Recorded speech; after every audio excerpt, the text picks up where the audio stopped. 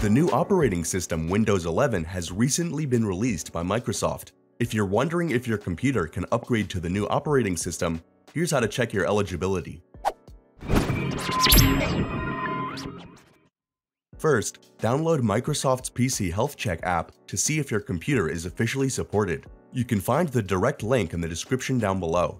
Once you run the health checker on your computer, simply follow the prompts. Once it's done, you'll see if your PC is eligible for the Windows 11 upgrade.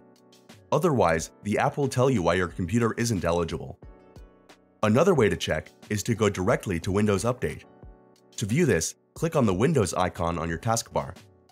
Next, click on the gear icon to view your settings, then select Update and Security. Once you're on the Windows Update tab, you should immediately see an option to upgrade your operating system to Windows 11 if your computer is eligible to upgrade. If you meet the system requirements, but you don't see an option to upgrade yet, then you might have to wait until Microsoft releases it for your device.